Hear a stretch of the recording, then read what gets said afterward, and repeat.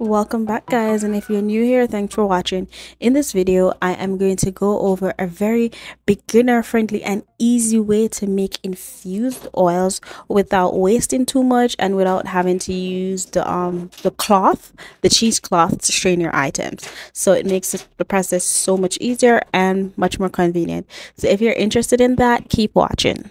The first thing you're going to do is go ahead and weigh out your dried herbs. So this for this one I'm making infused lavender oil, but this could be any dried herbs of your choice. It could be calendula, which is one of my favorite herbs to infuse.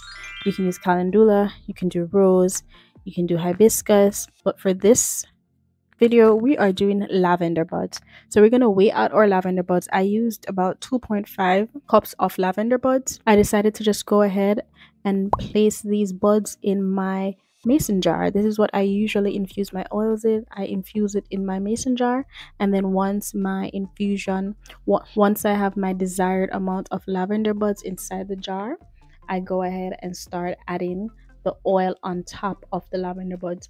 What i usually do is put enough oils to cover the lavender buds but not too much that lavender buds start to rise. I accidentally did this this time, so the lavender buds this did lift. Ended up adding about 12 ounce of oil. Let's say 12, 13 ounce of um oil inside of it, which was still a little bit over what I should have added. However, it did the job. Once I completed that, I covered my mason jar, I sealed it, the next thing you want to do is go ahead and grab your double boiler or crock pot. My method, my my choice of equipment is a crock pot. You use this to gently heat your your herbs on very low heat because you don't want to fry or like kind of burn your herbs. So that's this is why I use a crock pot method because I can leave my my jar in there with my herbs for a long period of time without it burning. I had to add water to my crock pot twice within the 48 hours to keep it heated and this did the job. Once the oil is cooled you want to go ahead and you know remove it from your double boiler gently and i usually stir it just to kind of mix the herbs with the oil before i separate it.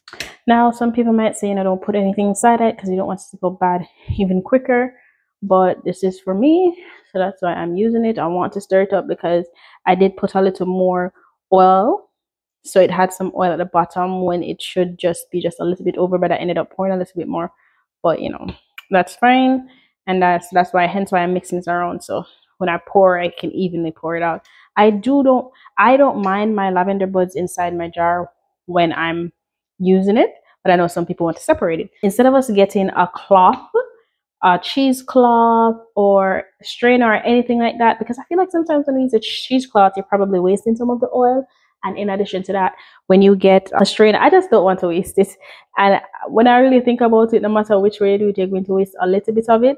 But I prefer to use this way that I'm going to show you right now. Here is our magic device. It's a French coffee press and it is amazing. I use it when I infuse um, coffee, when I make infused coffee oil to you know doing body scrubs and to put under your eye.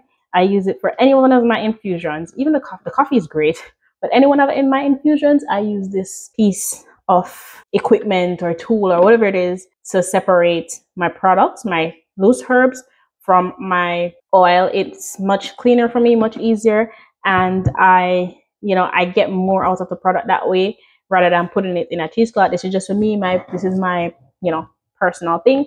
And when I used to make infused oil for my business, I would also try to use this as well, but I didn't infuse oil for much longer. So the French coffee press has it has a three layer system inside of it. It has the mesh, the mesh in the middle to separate the to strain the, the oil from the buds. It has a, a spiral top above it to secure it, and also a metal bottom piece to keep that mesh in the middle secured so that it doesn't move, especially when you're pushing down on it in order to separate the oil from the buds. The next thing we're going to do is go ahead and pour in our infused carrier oil inside our French coffee, coffee press to begin the separation. We're going to make sure that all of our infused oil completely fills well fills it up to an extent. Okay. so now that all of our infused oil is in our French press, we're gonna go ahead and put the top on and push it down.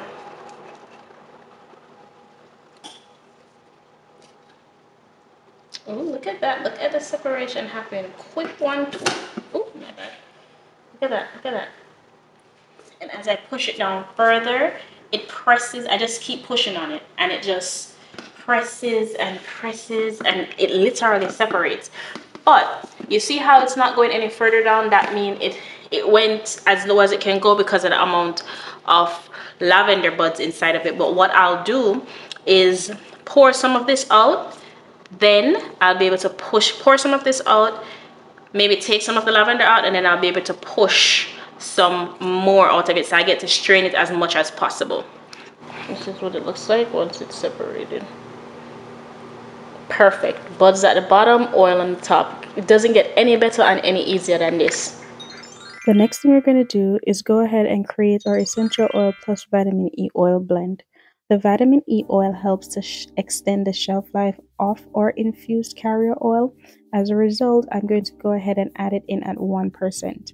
My bottle that I am using is 8 ounces.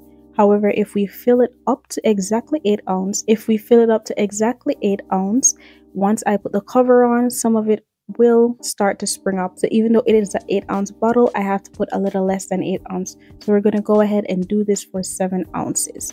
7 ounce is actually 198 grams.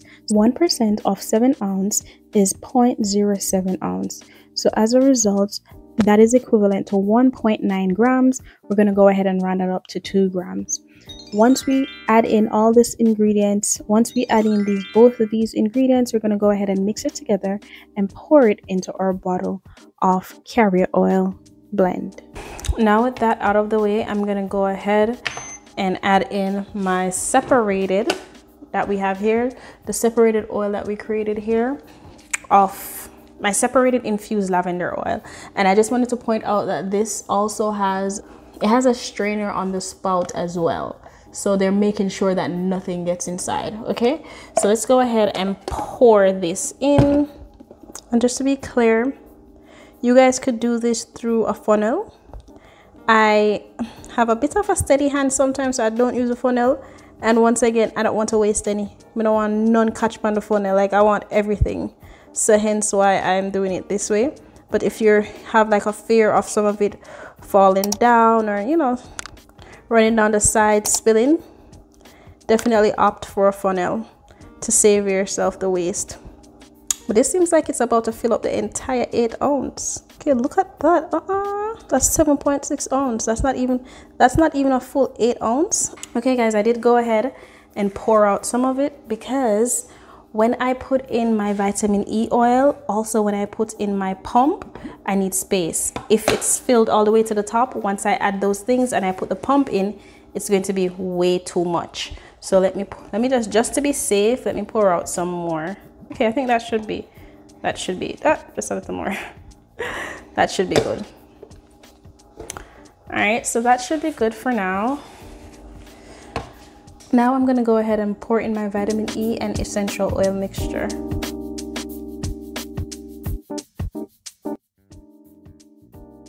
So the next thing I want to add is that I actually want some of the buds inside of it. It might seem weird, but I don't know. I just like how it looks with the bud inside of it. So I'm going to go ahead and try to get some of the bud inside of it.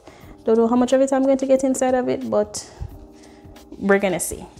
When you're finished, this is how you want it to look like there's not much oil running out of it because before when I turned it to the side you saw oil running out of it.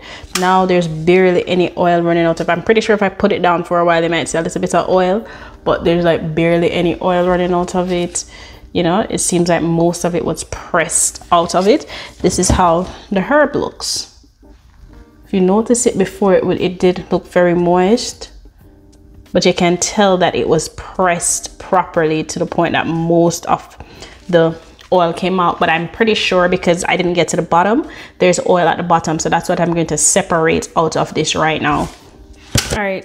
So i do have some more left over. So what i'm going to do as i mentioned about the buds i want to get as much of the um want to get as much of the oil out before I go in and start touching it up to take out the buds.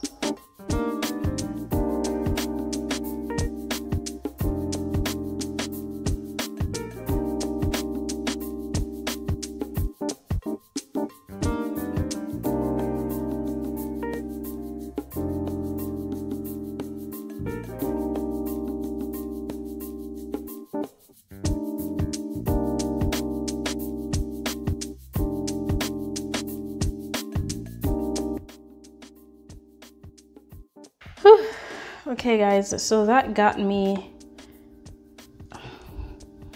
six ounce. So that was six ounce that was left in there.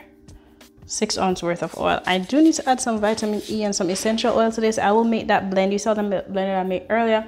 I'm gonna make some of that. I'm gonna add it to this. Okay guys. Okay so both my containers my bottles are filled. This one has lavender buds inside of it. This one does not I might put some inside of it. Who knows? Carefully you know. squeezing it out because it's oil. There it goes. There's my baby. And go ahead and rub it in. This oil feels pretty good on the skin. Oh my gosh. Yes, I said it feels good on the skin. And also with the benefits of having um, lavender infused oil inside of it. Whew, baby you won't regret it it has tea tree oil inside it and it's vitamin e oil so it's like your at home vitamin e oil with a little extra kick to it right? This is how this is how i make my vitamin e oil sometimes. And sometimes if i just want to make regular vitamin e oil i just add vitamin e oil with with um you know plain old carrier oil. But this whew, increases the benefits of the oil. It feels so good on my hand. Oh my gosh. Look at that.